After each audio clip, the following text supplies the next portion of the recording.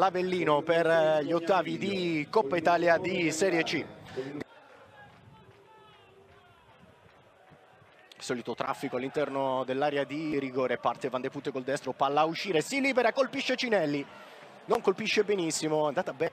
Per il momento queste le prime quattro qualificate, intanto se ne va in maniera elegante in mezzo al campo Cinelli, l'apertura su Iemmello di prima dentro per Van de Putte, occhio a quei due, palla ancora per Iemmello che colpisce in maniera geniale il pallone, palla all'angolino, nulla da fare per Forte che non l'ha vista, Aquila in vantaggio, il gol dell'illustrissimo Pietro Iemmello.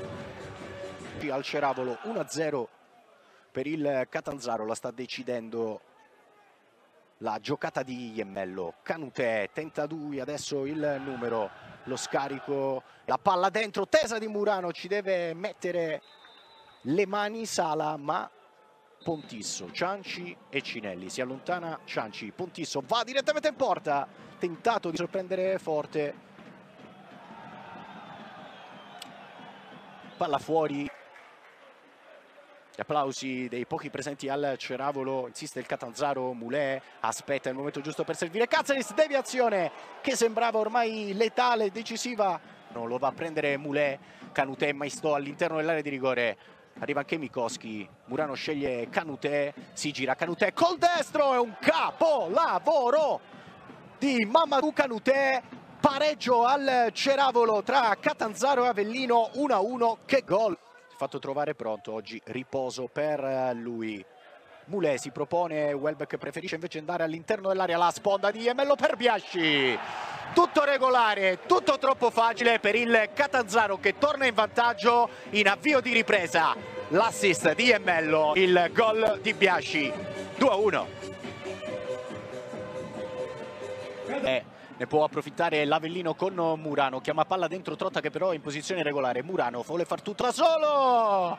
E lo fa alla grande, due passi dentro l'area e poi ancora una volta una palla a giro imprendibile per Sala, 2 a 2 al Ceravolo. La bandierina, tutti gli altri all'interno dell'area. Palla che viaggia, prende il tempo a tutti, colpo di testa di Cianci, spettacolare palla che sfiora il pallo alla destra di Forte che si era Gavone, palla prolungata sul secondo palo, anticipato anche Biasci, poi Scognamiglio di testa, Scavone la rimette dentro, prova a girarla, a spizzarla per un attimo Cinelli, ancora Cinelli servito da Biasci, palla all'indietro, Pontisso! Con Pontisso pronto ad andare alla battuta di questo calcio d'angolo.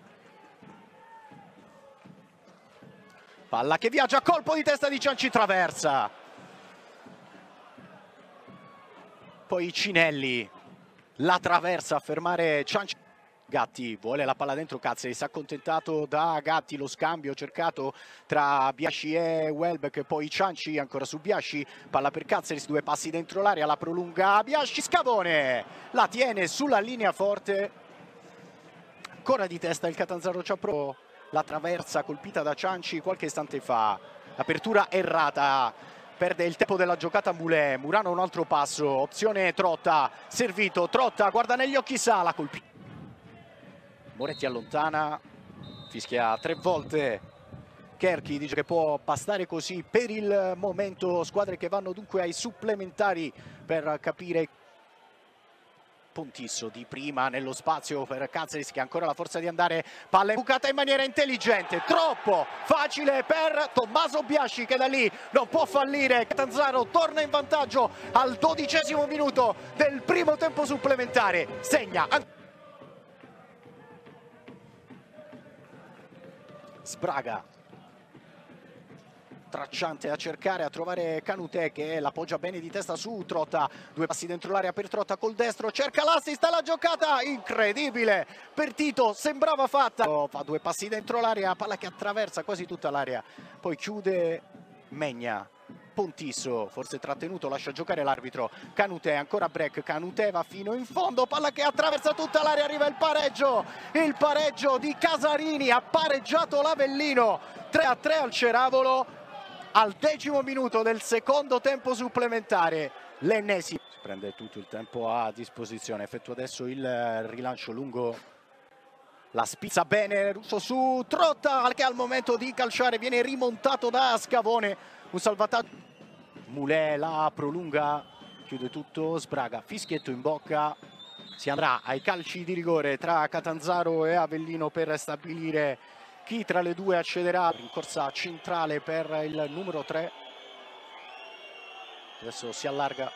Parte Tito! la manda in curva, né più nemmeno come aveva fatto Franco. Riccardo Gatti, il fischio dell'arbitro. Parte Gatti, la finta. Portiere da una parte, palla dall'altra. Vince il Catanzaro che passa